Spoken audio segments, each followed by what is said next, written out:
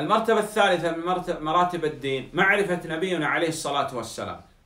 ദീനിന്റെ മർത്തബകളിൽ മൂന്നാമത്തെ മർത്തബ നബിയെ അറിയുക എന്നതാണ് نسأل عنه في القبر നമ്മോട് കബറിൽ ചോദ്യമുണ്ടാകും പ്രവാചകൻ من هو؟ ആരാണ് അദ്ദേഹം എന്ന് هو محمد عليه الصلاة والسلام അത് മുഹമ്മദ് നബി സ്വലാസ്മയാവുന്നു ابن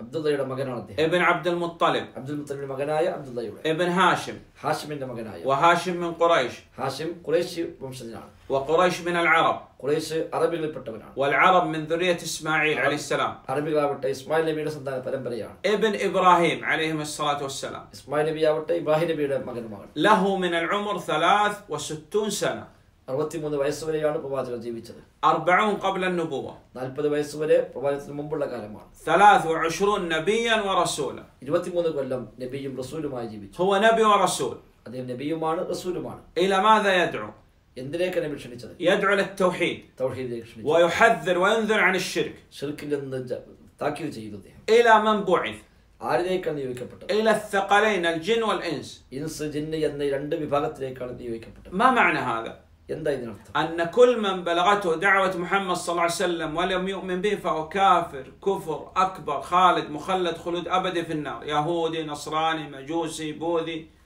من كان അഥവാ ഇങ്ങനെ പ്രവാചകൻ വന്നുവെന്നും ആ പ്രവാചകൻ ക്ഷണിച്ചുവെന്നും അറിഞ്ഞ ഏതൊക്കെ മനുഷ്യ ലോകത്തുണ്ടോ അവർ അത് അംഗീകരിച്ചിട്ടില്ലെങ്കിൽ വിശ്വസിച്ചിട്ടില്ലെങ്കിൽ അവർ മതഭ്രഷ്ടരാണ് കാഫിറുകളാണ് മറ്റേ ഏത് മതം സ്വീകരിച്ചാലും ശരി أكمل الله به الدين لا يمكن لأحد أن يبتدع في دين പ്രവാച കൂടി അള്ളാഹു താല ദീനിനെ പൂർത്തിയാക്കി ഇനി ആ മതത്തിലേക്ക് കൂട്ടിച്ചേർക്കാൻ ഒരാൾക്കും അനുവാദമില്ല.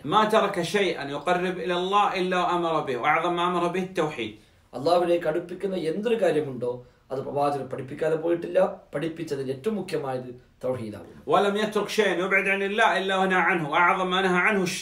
റബ്ബിൽ നിന്ന് അകന്നു പോകാൻ നിമിത്തമാകുന്ന എന്തൊക്കെയുണ്ടോ അതൊക്കെയും പ്രവാചകർ നമ്മോട് താക്കീത് ചെയ്തിട്ടുണ്ട്. ആ താക്കീത് ചെയ്തത് ഏറ്റവും മുഖ്യമായത് ശിർക്കുമാകുന്നു ولد بمكة وهاجر المدينة ودفن بالمدينة عليه الصلاة والسلام ومات بها لأن النبي صلى الله عليه وسلم بشر الحق ما يلحق البشر പ്രവാചകൻ സല്ലല്ലാഹു അലൈഹി വസല്ലമ മക്കയിൽ ജനിച്ചു മദീനയിലേക്ക് ഹിജറ പോയി മദീനയിൽ തന്നെയാണ് പ്രവാചകർ മറ- മറമാടപ്പെട്ടത് പ്രവാചകർ മനുഷ്യരിൽപ്പെട്ട ഒരു മനുഷ്യൻ തന്നെയാകും أسأل الله سبحانه وتعالى يجمعنا بنبينا عليه الصلاة والسلام في الفردوس الأعلى من الجنة والله أعلم ആ പ്രവാചകരോടൊപ്പം ഫിർദൗസൽ അയലയിൽ ഒരുമിച്ച് കൂടാൻ അള്ളാഹുവോട് അള്ളാഹു നമുക്ക് തൗഫീഖ് നൽകട്ടെ എന്ന് നമ്മൾ പ്രാർത്ഥിക്കുന്നു.